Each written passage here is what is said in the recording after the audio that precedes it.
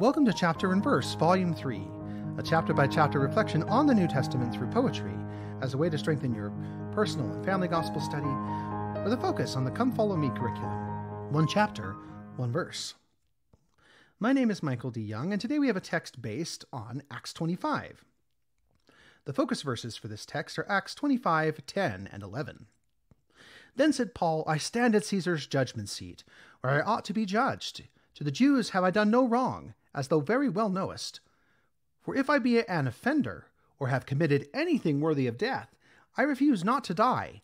But if there be none of these things whereof these accuse me, no man may deliver me unto them. I appeal unto Caesar. And now the text a judgment seat. On earth there is a judgment seat where each of us may stand, and there appeal to mortal laws for justice from its hand. The laws of men may not reflect the truth that God ordains, so even righteous ones may find their bodies wrapped in chains.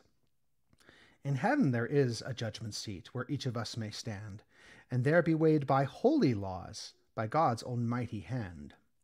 Our advocate will stand by us, as mercy, justice meet, to grant eternal blessings where our joy may be complete. Thank you for listening. If you like what you hear, please share.